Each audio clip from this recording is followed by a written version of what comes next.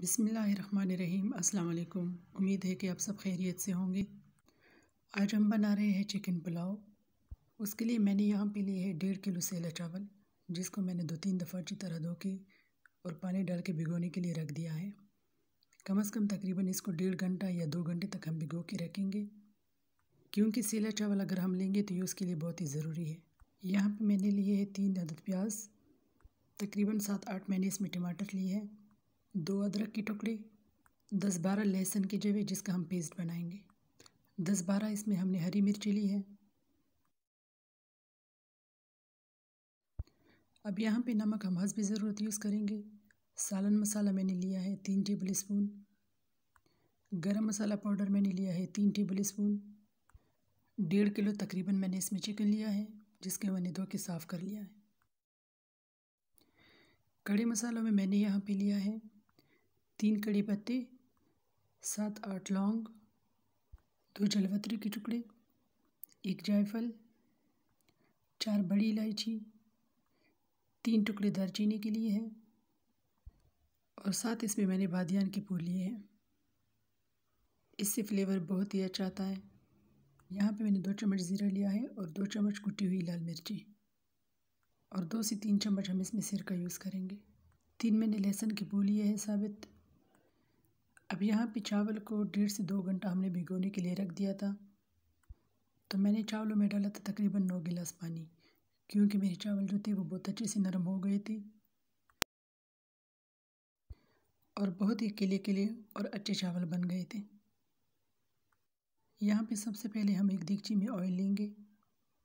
यहाँ पे ऑयल हमने शुरू में ज़्यादा लिया है, क्योंकि हमने प्याज फ्राई करना है। और इसी ऑयल में हमने चिकन भी फ्राई करनी है। तो हम जब चिकन फ्राई कर लेंगे तो एक्स्ट्रा ऑयल हम निकाल देंगे। वो मैं आपको आगे जाके बताती हूँ कि हमने कितना रखना है और कितना निकालना है। यहाँ पे हम इसमें प्याज डाल देंगे। प्याज यहाँ पे मैंने दो इसमें डाल दी है, काट के, और एक छोटी वाली जो है वो मैंने छोड़ दी है। वो उसको हम बाद में यूज़ करेंगे। अब यहाँ पे प्याज को हम मीडियम फ्लेम पे इस तरह से ब्राउन करेंगे। जब ये इस स्टेज पे आ जाए तो इसमें हम थोड़ा सा पानी डाल देंगे और ढक्कन रख देंगे। ऐसा करने से प्याज अपना कलर छोड़ देता है और प्याज जलता भी नहीं है।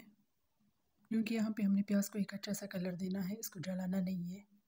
यहाँ पे मैंने प्याज को थोड़े से पानी के साथ इस तरह ग्राइंड कर लिया है। अब यहाँ पे मैंने एक प्लेट में नमक लिया, एक दो चम्मच, और उसमें सालन मसाला डाल दिया। और इसको मिक्स करके हम अब चिकन पे लगाएँगे। इस तरह करने से चिकन की लुक भी बहुत अच्छी आती है। और मज़े का भी बहुत बनता है। अब चिकन को हम उसी ऑयल में फ्राई करेंगे, जिसमें हमने प्याज फ्राई की थी। हाई फ्लेम पे इसको हमने फ्राई करना है।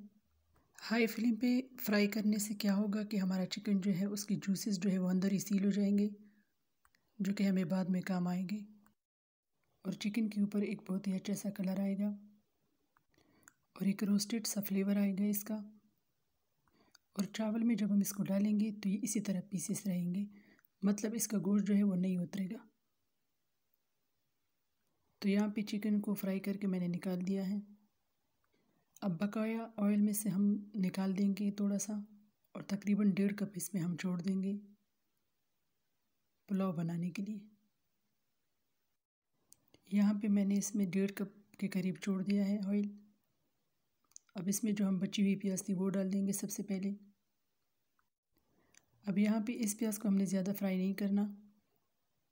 बस हल्का सा इस तरह कलर ये चेंज कर ले। तो इसमें हम सारे कड़े मसाले डाल देंगे।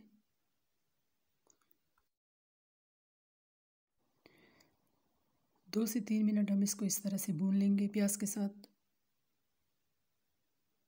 और फिर इसमें हम टमाटर डाल देंगे, जिसको मैंने मोटा मोटा इस तरह से काट लिया है। साथ में हम इसमें लहसुन, अदरक का पेस्ट भी डाल देंगे इसमें और मिक्स कर लेंगे। मिक्स करने के बाद इसके ऊपर हम ढक्कन रख देंगे ताकि टमाटर जो है वो थोड़े सॉफ्ट हो जाए।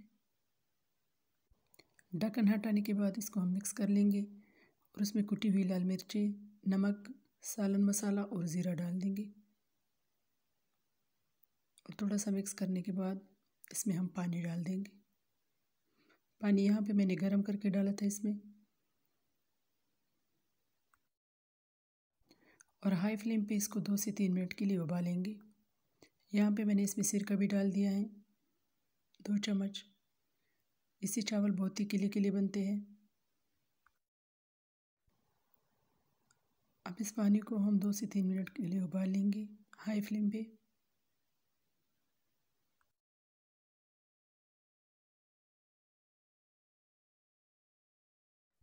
थोड़ी देर उबालने के बाद अब इसमें हम चावल डाल देंगे। यहाँ पे मैंने इसमें सारे चावल डाल दिए हैं। चावलों को हम मिक्स कर लेंगे।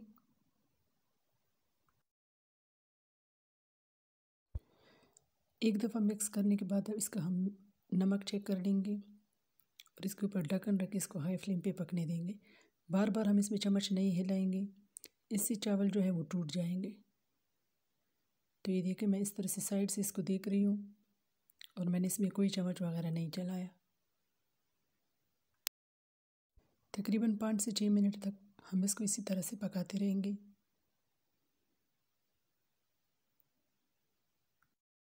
जब चावल इस तरह से ऊपर आपको नज़र आने लगे तो इसमें हम चिकन डाल देंगे ताकि इसमें चिकन का फ्लेवर आ जाए।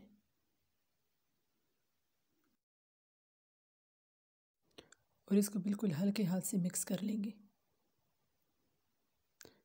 अब ऊपर इसकी हरी मिर्ची डाल देंगे।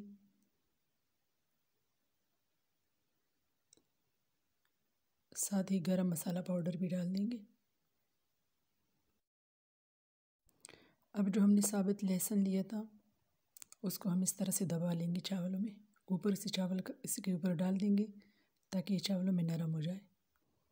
हमारे घर में इस तरह से लहसुन को बहुत ही पसंद किया जाता है पुलाव के साथ। तो आप भी लाजमी ये करके देखें, आपको बहुत ही मज़ा आएगा। अब जब पानी बिल्कुल ही नीचे बैठ जाए तो चावल को इस तरह से ऊपर से इवन करके इसको अब हम दम पे रखेंगे। चावलों के ऊपर हम इस तरह कोई कपड़ा डाल देंगे या एलमिनियम फॉइल अब डाल दें और ऊपर से कोई बारी चीज़ रख दें। फ्लेम हम शुरू में बिल्कुल हाई रखेंगे। दो से तीन मिनट के लिए, ताकि एक अच्छी सी स्टीम अंदर क्रिएट हो जाए। जब इस तरह से भाप निकलना शुरू हो जाए, तब इसके नीचे हम फ्लेम जो है वो लो कर देंगे और इसको दम पे रख देंगे। मैंने यहाँ पे तकरीबन इसको पैंतीस मिनट के लिए दम पे रख दिया था। चावलों के नीचे फ्लेम ऑफ़ करने के बाद भी आप इसको पाँच से छः मिनट के लिए ऐसे ही रखें। इसको रेस्ट करने दी, इससे चावल बहुत ही किले किले बनते हैं और लंबे हो जाते हैं चावल। तो यहाँ पे हमारा पुलाव जो है वो रेडी हो गया है, लेकिन मैं इसको एकदम से मिक्स नहीं करूँगी। बनाने के बाद पुलाव को हमेशा एक साइड से डालें। और इसको बिरयानी की तरह बिल्कुल मिक्स करने की भी ज़रूरत नहीं है।